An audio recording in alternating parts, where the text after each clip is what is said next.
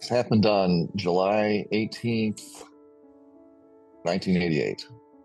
I was on a uh, river, the South Fork of the Payette River in in central Idaho, on a whitewater rafting trip. So we pushed off into the river, and uh, it only took a few minutes before we came to a part where it started getting pretty steep. And there was a large, I would say, automobile sized boulder jutting up out of the water in the middle uh, that we were being drawn toward. Uh, the channel uh, to the left was very steep and dangerous, and the and our uh, the guy who was at the back uh, with on the rudder said, uh, "This is going to be too rough. We probably won't make it. We need to paddle to the right, paddle hard." So he's screaming at us, of course, over the roar of this water that we need to paddle to the right, and we're paddling frantically, trying to get around to the right side of this boulder. But what happens is, is the water brings us right in front of that boulder, and we hit it, and the raft went perpendicular and the guys fell back, of course, and hit me and knocked me into the water. I was the only one that went in. And even at that moment, as I'm watching my feet, I'm going in backwards, I'm watching my feet uh, uh, follow me uh, into uh, break the surface of the water. I'm thinking, wow, I'm going to own the bragging rights to going down staircase and nothing but a life jacket. So it took about five seconds more before I felt the force of that water to know that I was in real trouble because there was very little I could do uh, uh, to control what was happening to me. I was just growing weaker and weaker. And after the last one that I went through, which wasn't, you know, the last staircase, but the, the last waterfall was probably only three or four that I'd gone over. I was so beat up and so exhausted that I remember after being spit out of this bottom current and trying to get to the surface, I tried to raise my arms and I couldn't do it. I was spent. So I tried kicking my feet to see if I could kick my way to the surface, and I couldn't even manage that. And I knew at that point that I was going to die. I knew I wasn't going to make it. It was almost the next moment I felt my I felt myself leave my body. It was like it was a whoosh and all of a sudden, I was somewhere where there's no violence, no pain, no struggle for air, no struggle for anything. It was this sort of amorphous, and I would call it sort of a grayish area. And I just, and I said to myself, what the hell just happened to me? And as soon as I said that, I sensed the, the presence of a being near me. And this being was communicating to me telepathically. Uh, and I, I don't know if that's the right term since we're not in a body and presumably we don't have a brain. Uh, this, this energy of ours, this spirit or whatever we want, we want to call it, communicated to me telepathically saying, everything is okay. You are you are okay. And uh, I'm here to take care of you. And he uh, turned and uh, began to move away from me. And it, I, my sense of it was that this was a, a male uh, being and um, someone who cared about me and that I knew very well. We arrived at this place where I began to view my lifetime from three different aspects. I began to experience it or, or, view the experience of it from my own viewpoint. I viewed it from this omniscient viewpoint, and I viewed it from the viewpoint of everyone with whom I'd ever interacted. Okay. And this was simultaneous.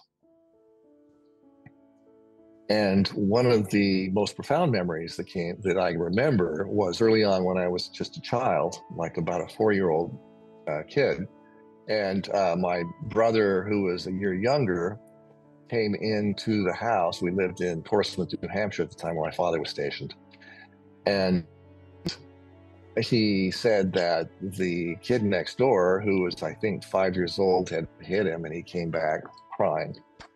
Well, the kid next door's name was John Arthur. and John Arthur was a friend of mine.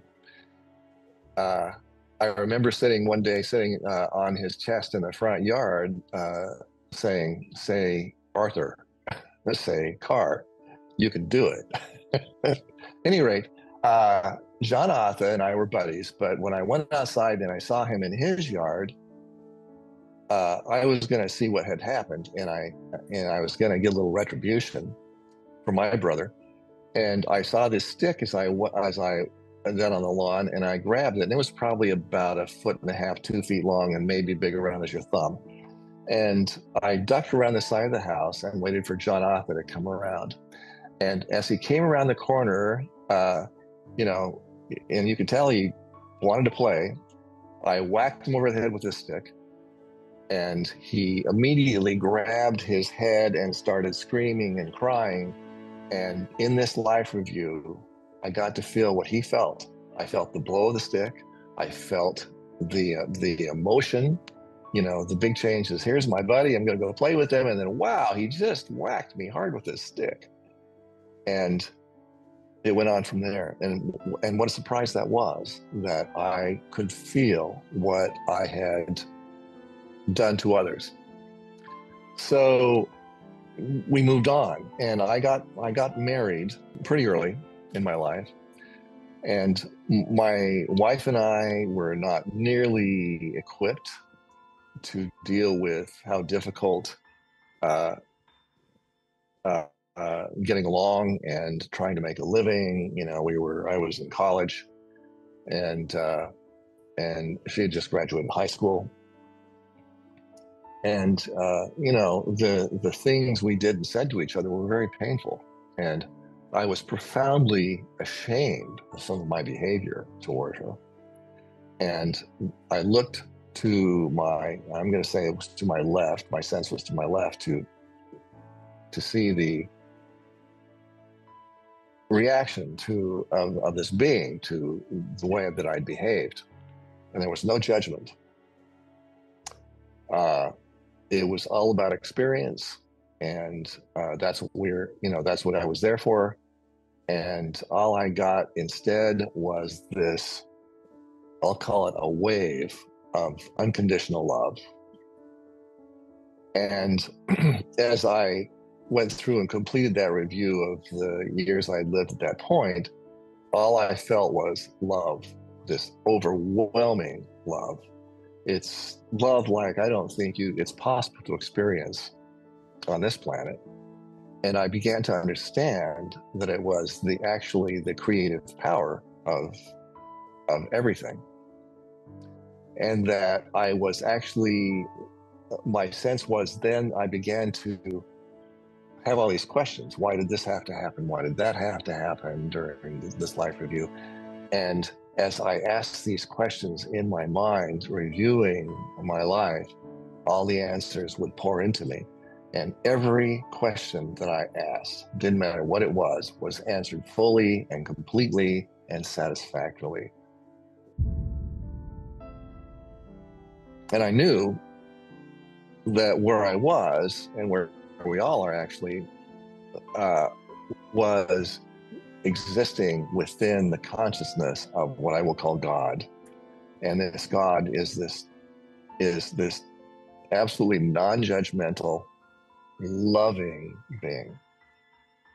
And in our Western Christian concepts, we we view God as this old man who lives in heaven somewhere way up in the sky, somewhere above us. And, uh, you know, that's a pretty good concept for somebody trying to understand God, I guess. And I think that may be why he is often referred to as our Father. My experience was we're not apart from God, we're actually a part of God. We're these, these amazing loving beings who, as we come down to embody and we choose to do that to gain experience, uh, we forget that. because what would be the point if we had all the answers coming down here? It's about experience and learning and evolving. So I'm feeling amazingly great. It's like everything, it's, it's, I'm having a great time getting all of my questions answered. And, uh, I, you know, I want to stay there. There was a sense that there was no such thing as there as right and wrong, but just cause and effect. That uh, we're just sort of here on a stage getting our experiences. Over there, there's no judgment.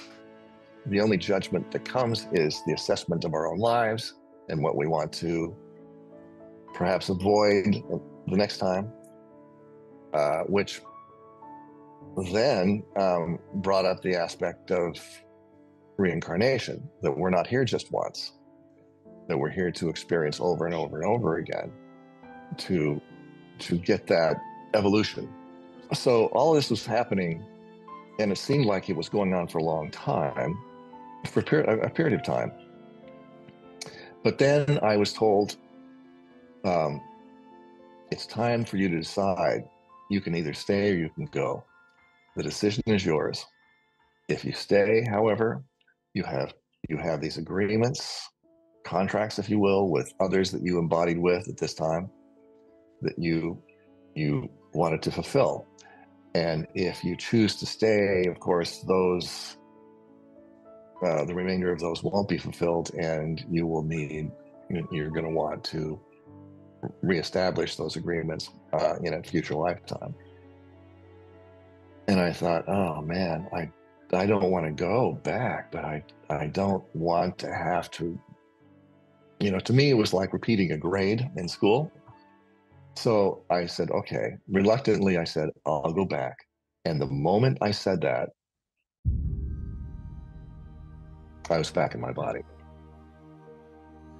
And I'm I'm I'm I'm through staircase now. I'm at the bottom of it. I'm floating just underneath the water. I am, uh, there is some consciousness that I'm there. In fact, I can even see my body. So I'm not sure I'm even in my body yet. But I see uh, the guy in the kayak. His name is Breck. He's in his kayak and he's down there searching for me. The guys, the guys in the rafter downstream, maybe uh, 60, 70 yards. Uh, and they found a place to beach and they're all looking for me. And Breck sees me come, my orange life jacket come down through the water, and he grabs me uh, and uh, pulls me to the surface and starts yelling at me, like, uh, start breathing, breathe, grab the rope loop on my kayak, I'll get you out of here. And I can hear him screaming this. And it's like, I remember trying to move to do this, but I couldn't make myself move for a moment or two until uh, I'm coming around and I'm trying to grab it was like I I would get my hand on that rope loop but I couldn't seem to hold on to it but eventually between him grabbing my life jacket and trying to get to the trying to paddle to the side and me holding on at least momentarily to this rope loop we got to the uh, uh, over by the, the raft. And there was kind of a sandy bar there. And they pulled me up onto that bar and elevated my feet and uh, assessed that I was in shock and hypothermic and semi conscious. Uh, apparently, I hadn't aspirated any or much of any water, which was good. But they covered me with what they had, which was life jackets and I think they had a little tarp or something and tried to keep me warm and it was sunny. So that was and, and warm and so that was helpful. And uh, didn't have any cell phones back then. So the only thing the only choice we had at that point was to they put me back in the bottom of the raft uh, lying down and we had we had probably another couple hours to go where i rode down i remember how painful it was because i was pretty much i was pretty gashed up and bruised on my backside so laying down was not the most comfortable position, but I, I was conscious and I was alive and I could feel pain. So I was, uh, I was probably going to make it. Well, I just want to reiterate that you and everyone out there are loved profoundly, that you are a spiritual being here to have experiences. You wanted to come here and embody. You've probably done it many more times than, than you can recall. You're probably going to do it again and again. Um, and it's all about gaining experiences and growing as beings. And I'm not sure where this all heads, but your your essence, your your energy is divine. Let it guide you that way. Uh, I want to say, you know, uh, we all think that we live in perilous times. There's probably all times are probably considered perilous. Let the better angels of your nature guide you. They will guide you. Um, and um, God bless you all.